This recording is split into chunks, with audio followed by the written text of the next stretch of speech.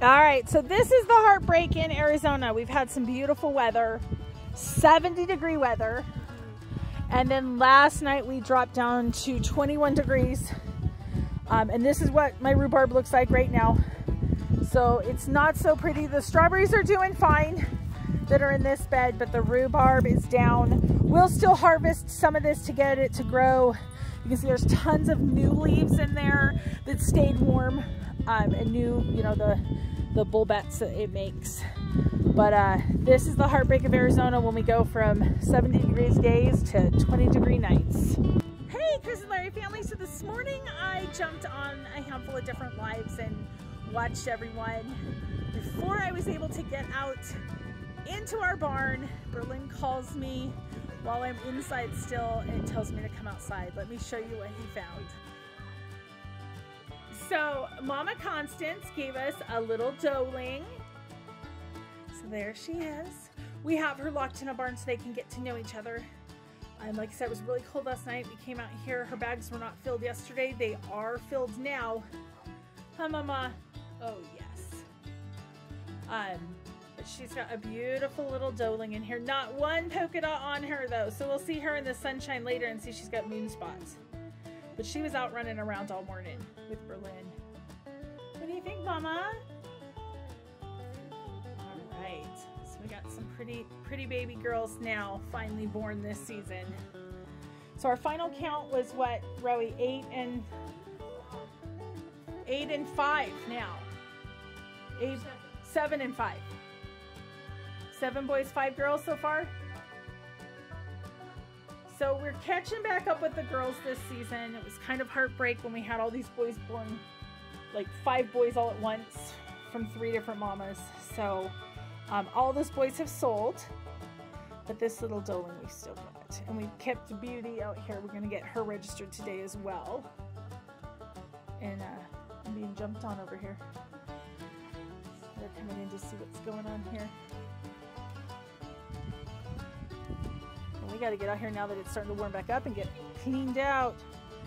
All right, let's go look at baby pigs. All right, after a bit of heartbreak this season, we do have two healthy piglets. Um, we ended up losing a whole bunch. One of our mama was eating her babies. Unfortunately, it happens with pigs. and uh, the Roberts family is gonna end up with it. They're taking the, the orange polka dotty. I can't see her from here, baby, because I'm in the sun. No, I know. I, am standing where I'm standing. We've got the um, the barn door, and I've got it wired up ahead. So here she is. She's so cute. She says, "No, don't touch me." So Kune Kune piglets are so cute.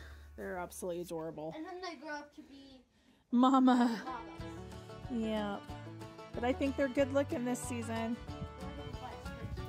They are cute as babies. Only babies though. Yeah, so it's kind of heartbreaking for us because we had nine born um, and only two survived through that. Uh, the other mama ended up coming out of here.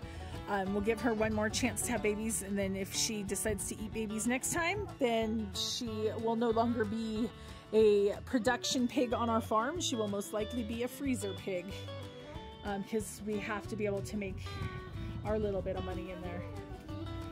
All right, we'll have Grayson bring buckets. Grab that bucket out of there, sister. There's this one. Oh, yeah. So mad. So these guys are about, what, five weeks old, six weeks old now? I have to go back and look at the calendar. Look for the first video. yeah, look for the first video. But they're happy and, and healthy in here. They're staying in this barn. They're little gremlins, yeah. They sure are. All right, there you go, you guys. Baby pigs are cuter than big pigs. They are. Baby pigs are the cutest. Oh, there's Miss Beauty. There she is. She's so cute. Oh, she's jumping on me. She's so funny. She acts like a, oh, hi mama. She acts like a bottle baby without being a bottle baby.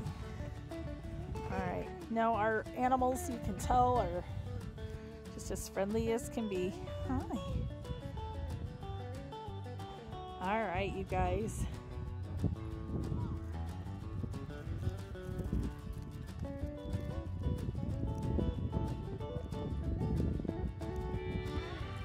fetch goats.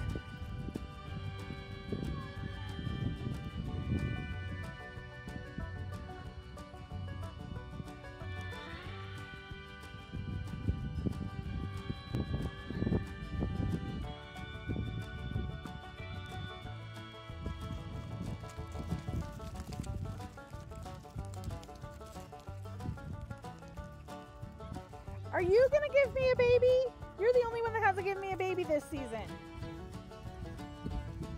Are you gonna give me a baby? You gave me a baby.